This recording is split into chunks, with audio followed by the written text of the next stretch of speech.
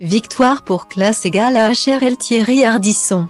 Le présentateur de 72 ans a gagné son procès en appel contre C8 après deux ans de combat comme le dévoile nos confrères du Parisien, ce vendredi 10 septembre 2021.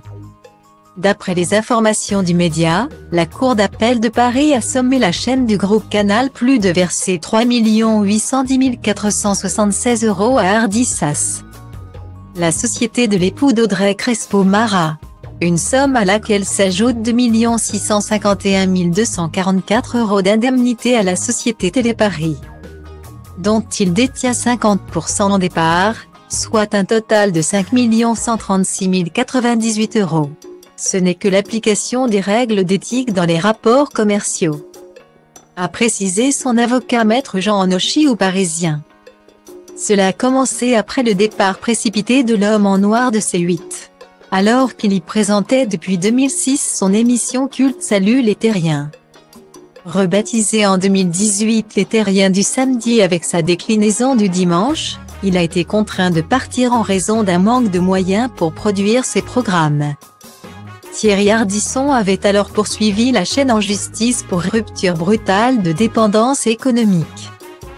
Si la justice avait condamné C8 à lui verser 811 500 euros, cette somme a été jugée insuffisante pour le présentateur.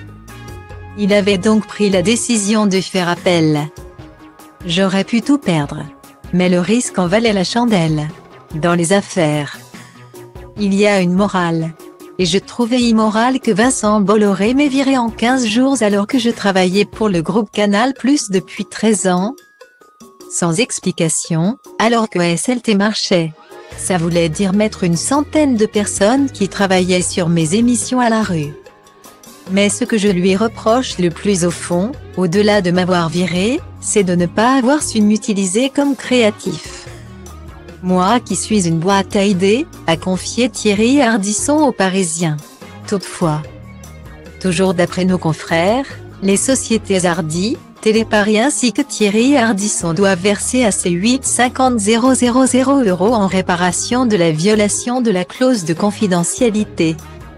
Thierry Ardisson fera prochainement son retour sur petit écran avec l'Hôtel du Temps une nouvelle émission dans laquelle il interviewe des personnalités défuntes, notamment la technologie du Fast Retriever.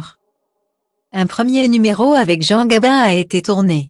Deux autres, avec Dalida puis Coluche ont été commandés. Une nouveauté coproduite par Thierry Ardisson et Troisième œil. Elle sera diffusée en prime time sur France 3.